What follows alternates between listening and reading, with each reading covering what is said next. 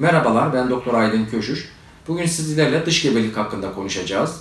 Dış gebelik, adında gebelik geçmesine rağmen normal bir gebelik değildir. Normal gebelik rahim içerisinde yerleşerek büyür. Dış gebelikte ise rahimin dışında herhangi bir yerde yerleşerek orada gelişmeye başlar. Ancak sağlıklı gebelik olmadığı için çok fazla gelişemez. Dış gebelik en fazla nerede gelişir? Daha çok tüplerde gelişmektedir. Neden tüplerde dış gebelik daha fazla görülüyor? Erkeğin spermi tüpün ampulla bölgesi dediğimiz bölgede yumurtayı döllemektedir. Tüpten kaynaklanan veya yumurta veya spermden kaynaklanan anormalliklerden dolayı oluşan embriyo yeterince ilerleyemez ve tüpte e, kalır ve genelde tüpe yerleşir. %90'ı genellikle e, tüpte yerleşmektedir. Dış gebelik belirtileri nelerdir? Bakıldığı zaman aslında erken dönemde dış gebeliğin belirtileri normal gebelik belirtileriyle aynıdır. Bu nedenle sadece belirtilere bakarak dış gebelik olup olmadığını bilmek erken dönemde özellikle mümkün değildir. Aynı normal gebelikteki gibi hafif kasık ağrısı, bulantı, kusma, e, göğüslerde gerginlik gibi belirtiler dış gebelikte de olabilir. E, dış gebeliğin en önemli belirtisi, normal gebelikten ayrımında bizi şüphelendirecek en önemli belirtisi ağrıyla beraber leke şeklinde bile olsa kanama olması. Bu bizim için uyarıcı olmalıdır, en azından düşündürücü olmalıdır. Bu tür durumlarda ne yapıyoruz? Özellikle HCG takiplerini alarak hastayı HCG takiplerinde anlamlı yükselme olup olmadığına bakıyoruz. Özellikle iki günde bir %60-70 yükselme olması bizi sağlıklı gebelik lehine e, düşündürürken daha az yükselmeler ya da e, düşmeler veya plato çizerek düz seyretmesi HCG değerlerinin dış gebelik lehine bizi yönlendirmektedir. Ancak bu noktada illaki dış gebelik olacak diye bir şey yoktur.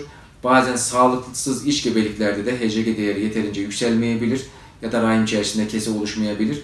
Bu nedenle bu tür hastalar dikkatli şekilde takip edilerek iç ve dış gebelik ayrımının uygun bir şekilde yapılması gerekmektedir. Bunun yanında özellikle dış gebelik büyüyecek olursa ciddi kasık ağrısı, karın ağrısı, hatta tüpteki e, yaralanmaya bağlı karın içerisi kanama, baş dönmesi, halsizlik bazen böyle şoka kadar giden tablolar oluşabilir. Günümüzde şoka kadar giden tablolar çok fazla görmüyoruz. Çünkü hekime ulaşmak artık çok kolay. HCG değerleri her yerde çalışabiliyor. Bu nedenle dış gebelik daha çok erken dönemdeyken yakalanabilmekte. Hastada iç kanın iç kanaması yapmadan tedavi edilebilmektedir. Bu nedenle günümüzde özellikle dış gebelikten dolayı olan anne kayıpları iyice azalmış durumdadır. Ancak özellikle kırsal kesimde bu tür durumlarda uyanık olmalı mutlaka erken dönemde eğer hastanın kasık ağrısı ve kanaması varsa dış gebelikten şüphelenerek hasta düzenli olarak kontrol edilmelidir. Evet dış gebelik kaçıncı haftada olur? Hastalarımızın sorduğu en önemli sorulardan bir tanesi bu. Dış gebelik genelde erken dönemde yakalanıp tedavi edildiği için genellikle 6 haftalık dönemde pek çok dış gebeliği biz tedavi etmekteyiz. Ancak yerleşim yerine göre bazen korneal gebelik dediğimiz dış gebelikler erken dönemde fark edilememekte ve daha büyük haftalara kadar gidebilmektedir. Bazen 8-10 haftaya kadar gidebilmekte, fark edilmesi gecikmekte ve hastada ciddi komplikasyonlara neden olabilmektedir. Ancak günümüzde HCG takipleriyle erken dönemde tespit edebildiğimiz için ileri gebelik haftalarına giden dış gebelik oranı oldukça düşüktür. HCG takipleri sırasında yapılan ultrason takiplerinde HCG'nin artmasına rağmen rahim içerisinde e, gebelik kesesinin görülmemesi dış gebelik lehine düşündürülebilir. Özellikle HCG değeri 1500-2000'i geçtiği halde rahim içerisinde hala ultrasonda gebelik kesesi görülmüyorsa bu tür durumlarda e, dış gebelik tanısı konulabilir. Bu tür durumlarda özellikle tüplerin ve yumurtalıkların dikkatli değerlendirilmesi, buralarda hematom ya da kese benzeri yapıların olup olmadığının e, dikkatli bir şekilde incelenmesi, dış gebelik tanısının konulması açısından da bize yönlendirici olacaktır. Kasık ağrısı ve kanama nedeniyle gelen ve dış gebelik tanısı konulan hastalar bir kısmı medikal tedaviyle tedavi edilirken bir kısmında cerrahi gerekebilmektedir.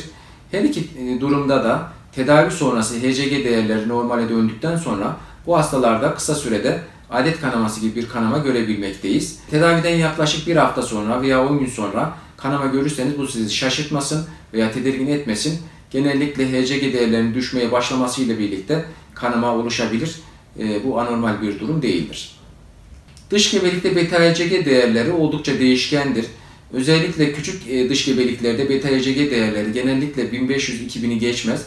Takipler sırasında bazen 4000'e kadar ulaşabilir ama çok büyük HCG değerleri genellikle dış gebelikte olmaz. Çünkü genellikle erken dönemde tanısı konulup erken dönemde tedavi edilebilmektedir.